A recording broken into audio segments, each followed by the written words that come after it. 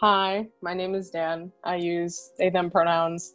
Having a space where anyone can come in and just immediately providing just a space with such like friendliness and welcoming, uh, like a welcoming aura. Like when you walk, like not currently, but when you would used to walk into the center, it was just immediately so cozy.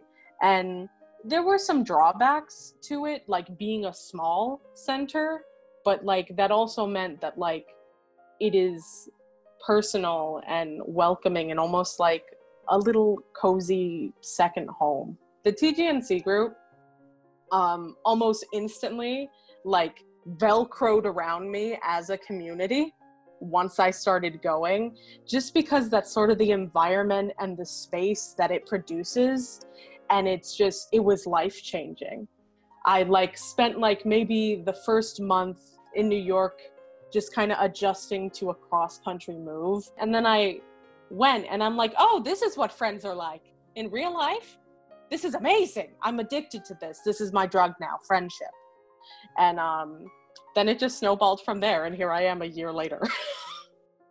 it's been a year since I moved here. And shortly after moving here, I made it a routine to go to the groups weekly. Then I started going to other programs. They used to have D&D at the center, which was awesome.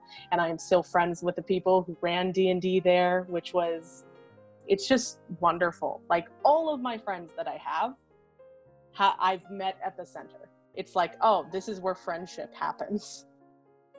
People without a community are so isolated and queer people and trans people specifically that isolation just crushes you.